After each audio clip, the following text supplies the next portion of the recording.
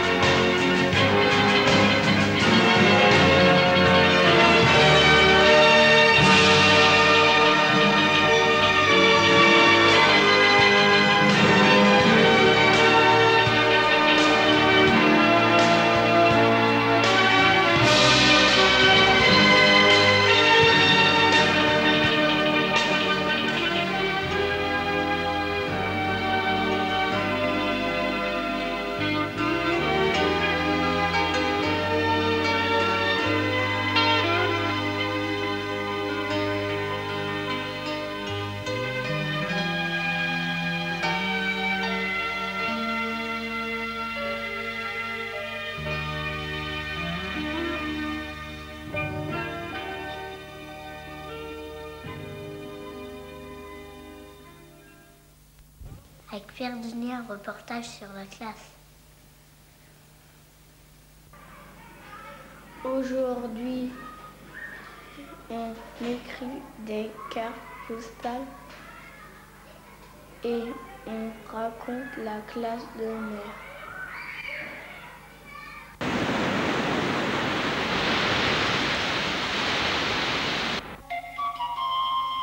Cher parrain, je suis bien arrivé à la Bernerie en Ray.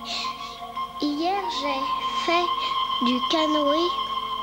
Je mange et je dors bien. Aujourd'hui, il y a du vent. Je vais visiter les parcs à 8.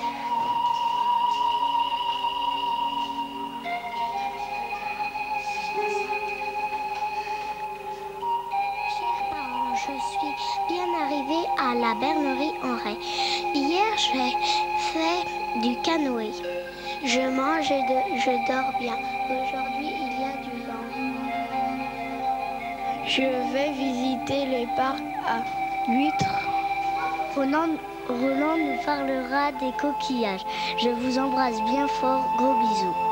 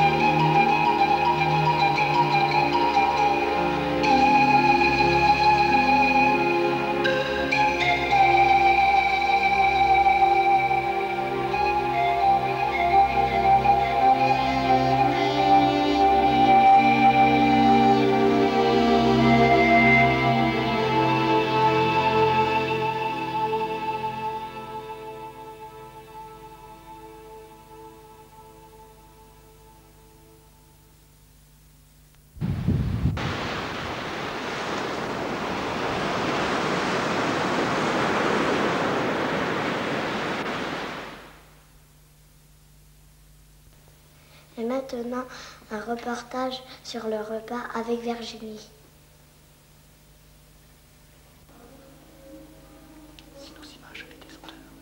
Si nos images avaient des odeurs, hmm, Vous auriez l'eau à la bouche. vous auriez l'eau à la bouche Ce reportage à croquer. dans ce reportage à croquer.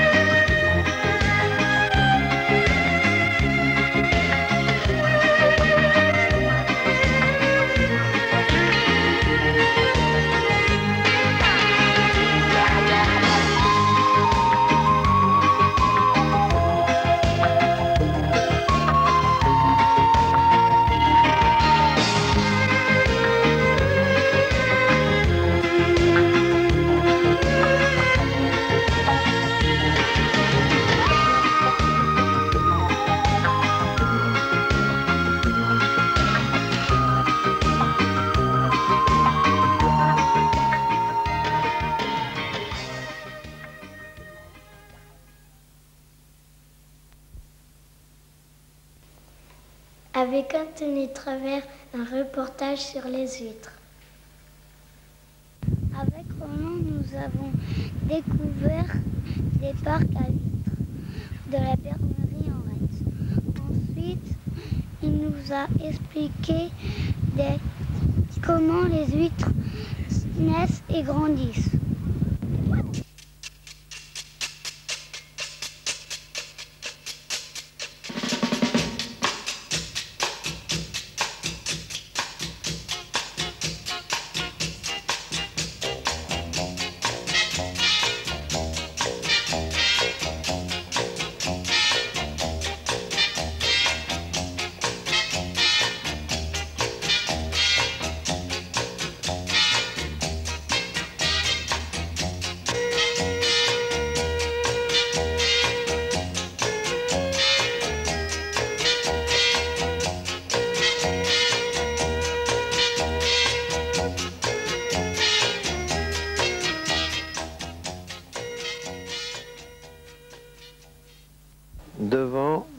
À huîtres de la Bernerie en Ray. Vous voyez tout ce qui est devant vous là.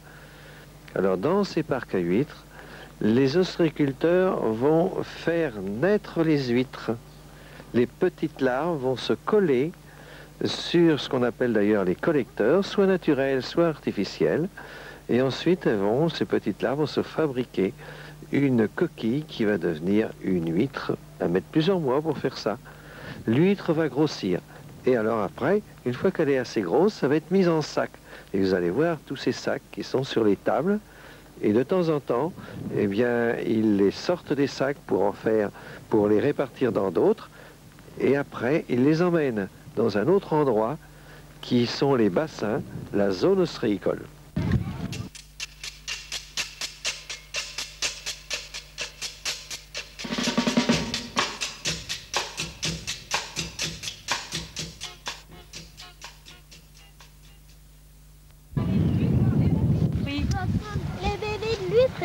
Appelle les- larves Très bien. Ensuite, où est-ce que se déposent les larves Sur les rochers. Sur les rochers. Alors quand c'est quand c'est sur les rochers, on appelle ça un collecteur naturel. Puis autrement, où ça autrement Il faut attendre deux mois et, Attention.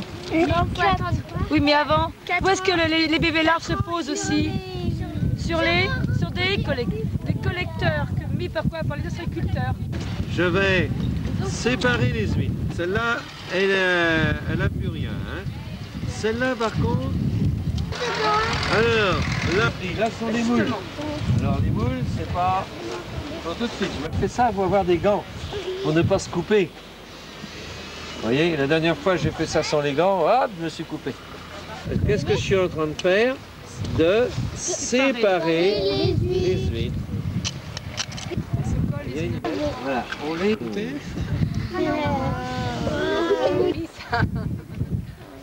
de la dégustation. J'ai pas fait exprès. Hein. On voit, on voit tout, hein, on voit le détrou. Bon.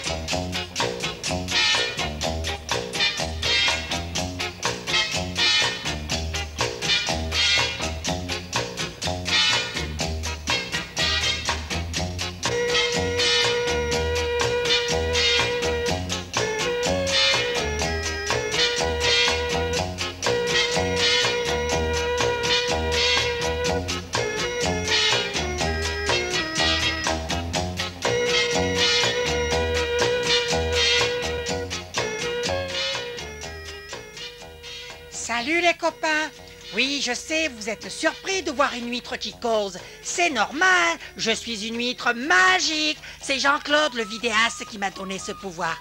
Vous savez, j'ai 4 ans et j'ai grandi ici, dans les parcs à huîtres du pays de Ré. Mais là, je manque d'oxygène. Soyez gentils, remettez-moi dans le bassin avec les bulleurs. Merci les copains. Et surtout, ne dites rien aux autres. De toute façon, ils vous croiraient pas. Allez, salut les copains Et maintenant, un reportage sur Pornic avec, Mar- avec Bonnie et Marc-Antoine. C'est Notre journée a commencé par un tumulus. Ensuite, nous avons visité le port de Pornic où Roland nous a parlé de la pêche. Regardez bien, vous êtes devant le tumulus de Pornic. Il s'appelle les mousseaux. On l'appelait comme ça parce que sur les pierres, il y avait beaucoup de mousse qui poussait. Et euh, c'est un monument qui est classé. Il a été refait, vous voyez. Alors on a mis une pierre de schiste, du mica schiste en bas, et par-dessus des grosses pierres de granit. Et vous voyez, les ouvertures sont telles qu'elles étaient du temps euh, ancien, puisque c'est de, de- date de 3500 ans avant Jésus-Christ. Vous voyez, c'est très très vieux. hein. C'est l'âge de la pierre, c'est le néolithique.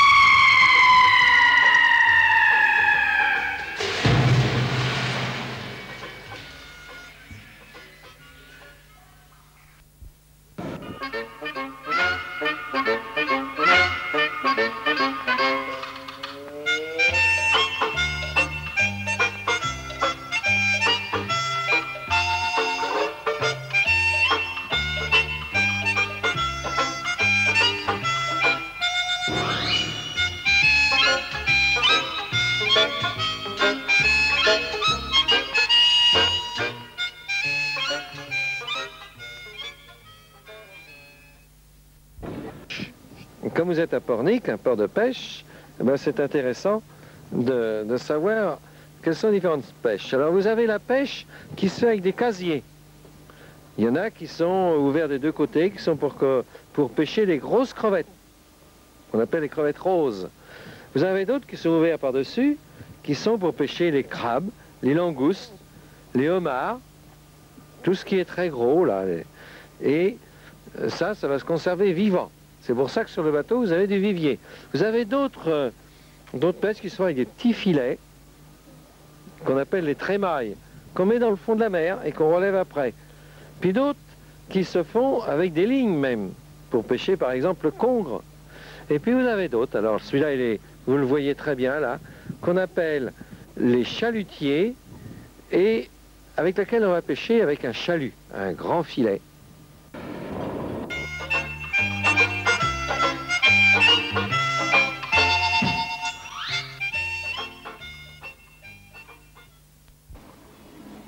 Alors voici maintenant dans le port de plaisance de la Noé-Veillard, le port de plaisance de Pornic, qu'on appelle le nouveau port, parce qu'il y avait un ancien port de plaisance qu'on appelle le port de Gourmalon. C'est un port qui peut contenir jusqu'à 900 bateaux, vous vous rendez compte Hein, C'est très important comme port. Et alors vous y descendez par une passerelle sur chaque partie, sur un, qui ont des grands pontons, là où vous êtes, retenus par des grands, de grands poteaux noirs, voyez, et on rejoint les bateaux par des plus petits pontons qu'on appelle, écoutez bien, le catway.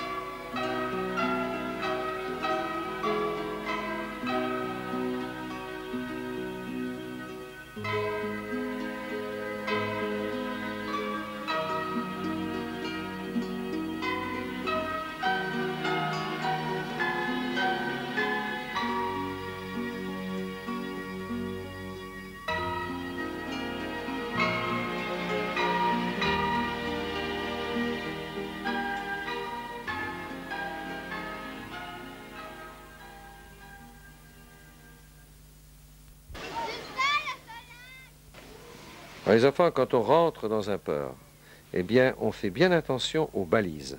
Regardez-les bien. Vous les voyez là? Il y en a une, quelle couleur elle est? Oui, elle est rouge et elle est à bâbord. Une autre, et l'autre, regardez à face là. Ah, pas tout à fait en face, le côté là, oui, oui, un verte. Alors cette balise verte, regardez comment elle est faite. Elle a une partie conique, alors que la partie rouge, l'autre, elle a une partie cylindrique en haut. Il y a la couleur, il y a aussi la forme. Et ça, eh bien, c'est pour signaler un chenal d'entrée. C'est-à-dire quand on va de la mer au port, on emprunte un chenal et il est balisé par des balises rouges et vertes.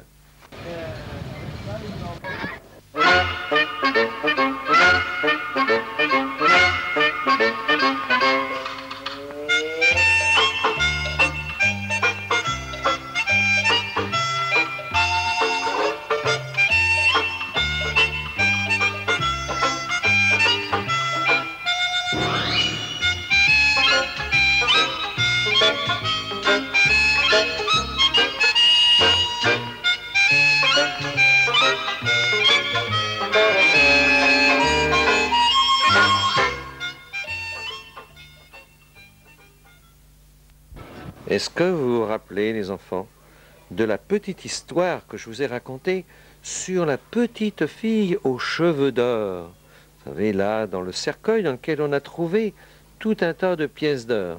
Eh bien, ces pièces d'or, elles ont été amenées à un curé, un curé qui a employé tous les chômeurs du secteur pour faire les escaliers où vous êtes là. Vous savez, qui montent du quai à la ville haute de Pornic. Et maintenant, un reportage sur une veillée avec Laure et Baptiste. Oui, ce soir, on s'amuse bien avec de super jeux. Voici le programme.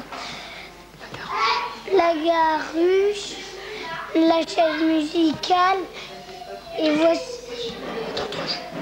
Et d'autres jeux. Voici quelques images.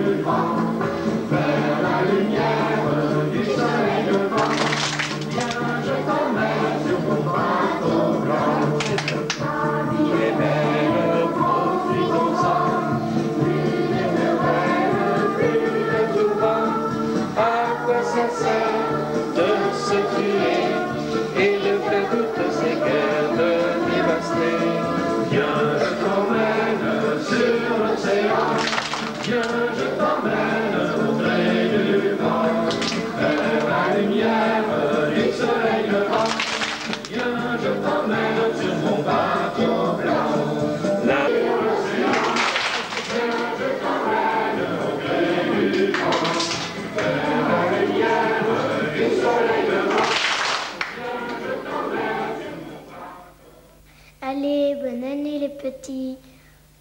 Reportage sur le coucher Erwan.